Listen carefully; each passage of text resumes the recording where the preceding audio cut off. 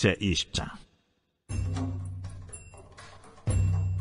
이에 모든 이스라엘 자손이 단에서부터 부엘세바까지와 길르앗 땅에서 나와서 그 회중이 일제히 미스바에서 여호와 앞에 모였으니 온 백성의 어른 곧 이스라엘 모든 지파의 어른들은 하나님 백성의 총회에 섰고 칼을 빼는 보병은 40만 명이었으며 이스라엘 자손이 미스바에 올라간 것을 베냐민 자손이 들었더라. 이스라엘 자손이 이르되 이 악한 일이 어떻게 일어났는지 우리에게 말하라. 레위 사람 곧 죽임을 당한 여인의 남편이 대답하여 이르되 내가 내 첩과 더불어 베냐민에 속한 기부하에 유숙하러 갔더니 기부하 사람들이 나를 치러 일어나서 밤에 내가 묵고 있던 집을 에워싸고 나를 죽이려 하고 내 첩을 욕보여 그를 죽게 한지라 내가 내 첩의 시체를 거두어 쪼개서 이스라엘 기업의 온 땅에 보냈나니 이는 그들이 이스라엘 중에서 은행과 망령된 일을 행하였기 때문이라 이스라엘 자손들아 너희가 다 여기 있은즉 너희의 의견과 방책을 낼지니라. 모든 백성이 일제히 일어나 이르되 우리가 한 사람도 자기 장막으로 돌아가지 말며 한 사람도 자기 집으로 들어가지 말고 우리가 이제 기부하 사람에게 이렇게 행하리니 곧 제비를 뽑아서 그들을 치되 우리가 이스라엘 모든 지파 중에서 백명의 열 명, 천명의 백명, 만명의 천명을 뽑아 그 백성을 위하여 양식을 준비하고 그들에게 베냐민의 기부하에 가서 그 무리가 이스라엘 중에서 망령된 일을 행한 대로 징계하게 하리라. 이와 같이 이스라엘 모든 사람이 하나같이 합심하여 그 성읍을 치려고 모였더라. 이스라엘 지파들이 베냐민 온 지파의 사람들을 보내어 두루 다니며 이르기를 너희 중에서 생긴 이 악행이 어찌 됨이냐? 그런즉 이제 기부하 사람들 곧 그 불량 배들을 우리에게 넘겨 주어서 우리가 그들을 죽여 이스라엘 중에서 악을 제거하여 버리게 하라. 베냐민 자손이 그들의 형제 이스라엘 자손의 말을 듣지 아니하고 도리어 성읍들로부터 기부하에 모이고 나가서 이스라엘 자손과 싸우고자 하니라. 그때에 그 성읍들로부터 나온 베냐민 자손의 수는 칼을 빼는 자가 모두 2만 6천 명이요. 그 외에 기부하 주민 중 택한 자가 700명인데 이 모든 백성 중에서 택한 700명은 다 왼손잡이라 물매로 돌을 던지면 조금도 틀림이 없는 자들이더라. 베냐민 자손 외에 이스라엘 사람으로서 칼을 빼는 자의 수는 40만 명이니 다 전사라. 이스라엘 자손이 일어나 베들에 올라가서 하나님께 여쭈어 이르되 우리 중에 누가 먼저 올라가서 베냐민 자손과 싸우리이까? 하리 여호와께서 말씀하시되 유다가 먼저 갈지니라. 하시니라. 이스라엘 자손이 아침에 일어나 기부하를 대하여 진을 치니라. 이스라엘 사람이 나가 베냐민과 싸우려고 전열을 갖추고 기부하에서 그들과 싸우고자 하매 베냐민 자손이 기부하에서 나와서 당일에 이스라엘 사람 2만 2천 명을 땅에 엎드러뜨렸으나 이스라엘 사람들이 스스로 용기를 내어 첫날 전열을 갖추었던 곳에서 다시 전열을 갖추니라. 이스라엘 자손이 올라가 여호와 앞에서 저물도록 울며 여호와께 여쭈어 이르되 내가 다시 나아가서 내 형제 베냐민 자손과 싸우리이까? 여호와께서 말씀하시되 올라가서 치라. 그 이튿날에 이스라엘 자손이 베냐민 자손을 치러 나아가매 베냐민도 그 이튿날에 기부하에서 그들을 치러 나와서 다시 이스라엘 자손 만 팔천 명을 땅에 엎드러뜨렸으니 다 칼을 빼는 자였더라. 이에 온 이스라엘 자손 모든 백성이 올라가 베델에 이르러 울며 거기서 여호와 앞에 앉아서 그날이 저물도록 금식하고 번제와 화목제를 여호와 앞에 드리고 이스라엘 자손이 여호와께 물으니라. 그때에는 하나님의 언약궤가 거기 있고 아론의 손자인 엘라살의 아들 비느하스가 그 앞에 모시고 섰더라. 이스라엘 자손들이 여쭈기를 우리가 다시 나아가 내 형제 베냐민 자손과 싸우리이까 말리이까? 여호와께서 이르시되 올라가라. 내일은 내가 그를 내 손에 넘겨주리라. 하시는지라 이스라엘이 기부와 주위에 군사를 매복하니라. 이스라엘 자손이 셋째 날에 베냐민 자손을 치러 올라가서 전과 같이 기부하에 맞서 전열을 갖추매 베냐민 자손이 나와서 백성을 맞더니 꾀임에 빠져 성읍을 떠났더라. 그들이 큰 길 곧 한쪽은 베델로 올라가는 길이요 한쪽은 기부하에 들로 가는 길에서 백성을 쳐서 전과 같이 이스라엘 사람 30명 가량을 죽이기 시작하며 베냐민 자손이 스스로 이르기를. 이들이 처음과 같이 우리 앞에서 패한다. 하나 이스라엘 자손은 이르기를 우리가 도망하여 그들을 성읍에서 큰 길로 꿰어내자. 하고 이스라엘 사람이 모두 그들의 처소에서 일어나서 바알다만에서 전열을 갖추었고 이스라엘의 복병은 그 장소 곧 기브아 초장에서 쏟아져 나왔다. 온 이스라엘 사람 중에서 택한 사람 만 명이 기브아에 이르러 치매 싸움이 치열하다. 베냐민 사람은 화가 자기에게 미친 줄을 알지 못하였다.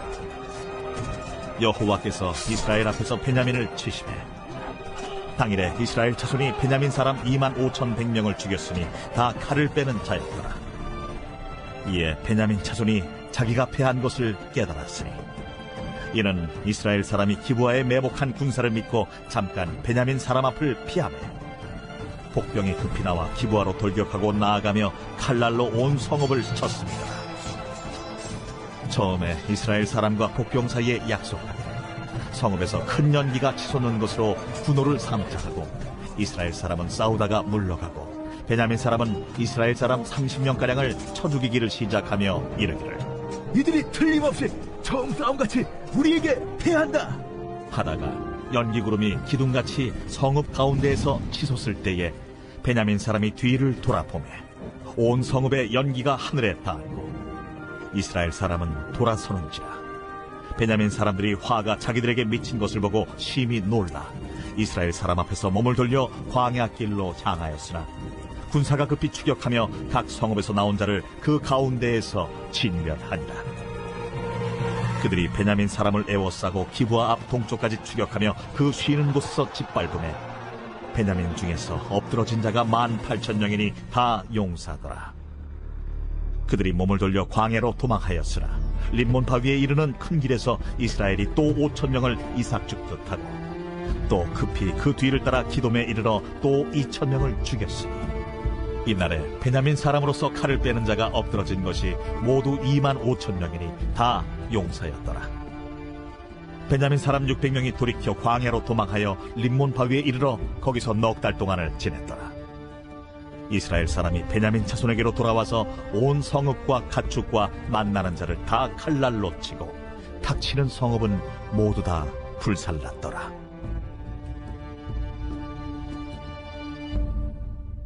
제 24장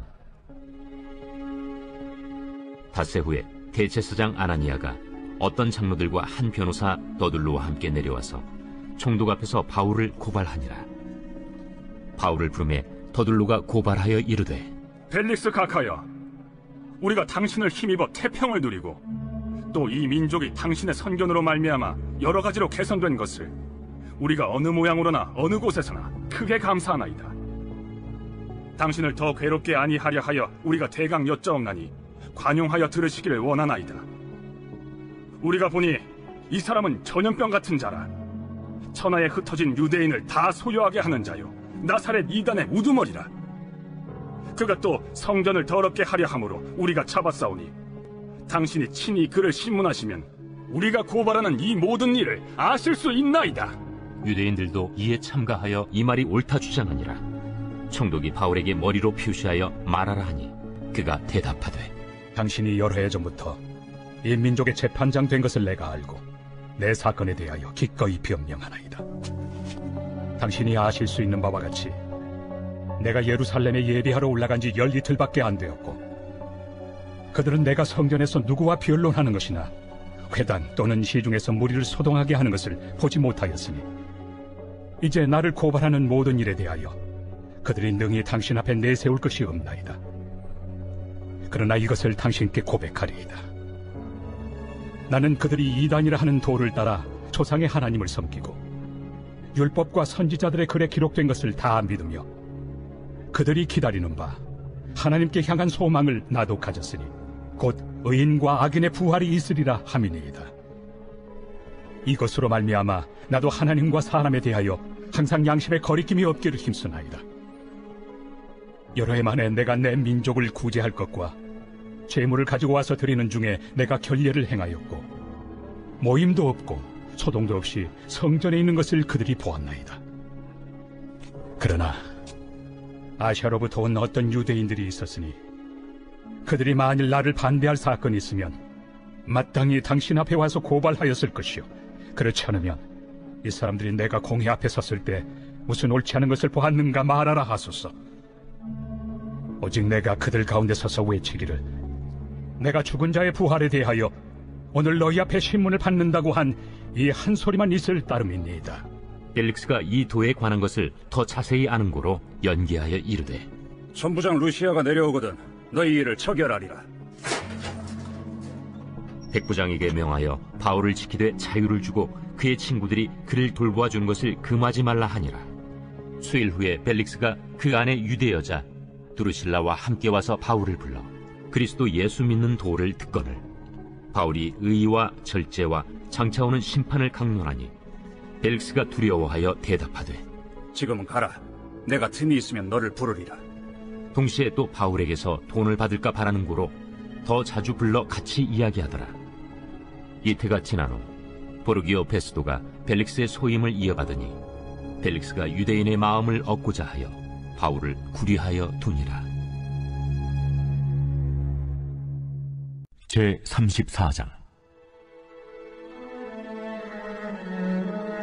바벨론의 누부갓네살 왕과 그의 모든 군대와 그의 통치하에 있는 땅의 모든 나라와 모든 백성이 예루살렘과 그 모든 성읍을 칠 때 말씀이 여호와께로부터 예레미야에게 임하여 이르시되 이스라엘의 하나님 여호와께서 이와 같이 말씀하십니다. 너는 가서 유다의 시디기야 왕에게 아뢰어 이르기를 여호와의 말씀에 보라 내가 이 성을 바벨론 왕의 손에 넘기리니 그가 이 성을 불살을 것이라. 내가 그의 손에서 벗어나지 못하고 반드시 사로잡혀 그의 손에 넘겨져서 내 눈은 바벨론 왕의 눈을 볼 것이며 그의 입은 내 입을 마주 대하여 말할 것이요. 너는 바벨론으로 가리라. 그러나 유다의 시드기야 왕이여 여호와의 말씀을 들으라. 여호와께서 내게 대하여 이와 같이 말씀하시니라. 내가 칼에 죽지 아니하고 평안히 죽을 것이며 사람이 너보다 먼저 있은 내 조상들 곧 선왕들에게 분양하던 것 같이 내게 분양하며 너를 위하여 애통하기를 슬프다 주여 하리니 이는 내가 말하였습니다.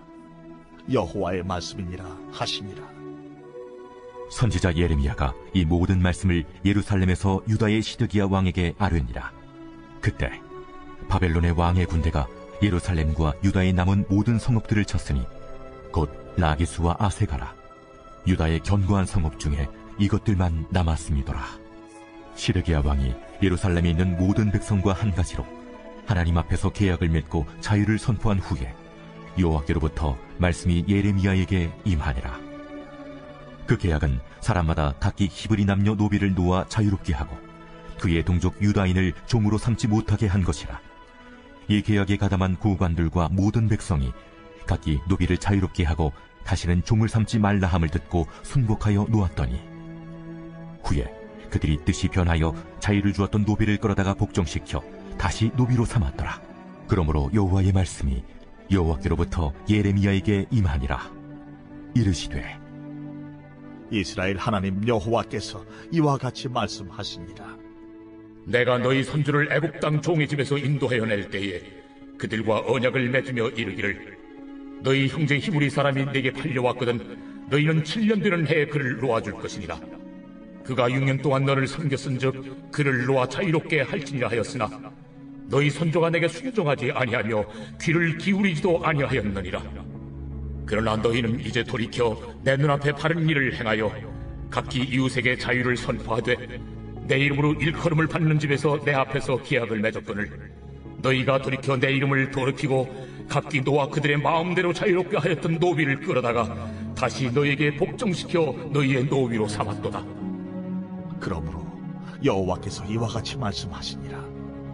너희가 나에게 순종하지 아니하고 각기 형제와 이웃에게 자유를 선포한 것을 실행하지 아니하였은즉 내가 너희를 대적하여 칼과 전염병과 기근에게 자유를 주리라.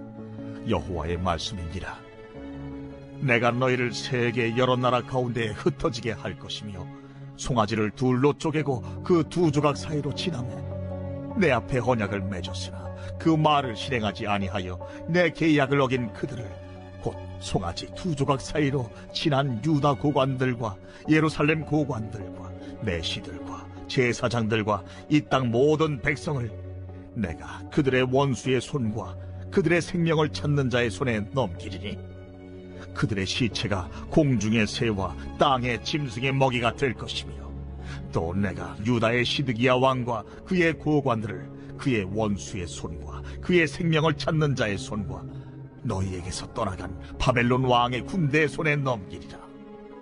여호와의 말씀이니라. 보라 내가 그들에게 명령하여 이 성읍에 다시 오게 하리니 그들이 이 성을 쳐서 빼앗아 불살을 것이라 내가 유다의 성읍들을 주민이 없어 처참한 황무지가 되게 하리라. 제5편 다윗의 시 인도자를 따라 관악에 맞춘 노래. 여호와여 나의 말에 귀를 기울이사 나의 심정을 헤아려 주소서. 나의 왕 나의 하나님이여 내가 부르짖는 소리를 들으소서 내가 주께 기도하나이다 여호와여 아침에 주께서 나의 소리를 들으시리니 아침에 내가 주께 기도하고 바라리이다 주는 죄악을 기뻐하는 신이 아니시니 악이 주와 함께 머물지 못하며 오만한 자들이 주의 목전에 서지 못하리이다 주는 모든 행악자를 미워하시며 거짓말하는 자들을 멸망시키시리이다. 여호와께서는 피 흘리기를 즐기는 자와 속이는 자를 싫어하시나이다. 오직 나는 주의 풍성한 사랑을 힘입어 주의 집에 들어가 주를 경외함으로 성전을 향하여 예배하리이다. 여호와여, 나의 원수들로 말미암아 주의 의로 나를 인도하시고 주의 길을 내 목전에 걷게 하소서. 그들의 입에 신실함이 없고 그들의 심중이 심히 악하며 그들의 목구멍은 열린 무덤 같고 그들의 혀로는 아첨하나이다.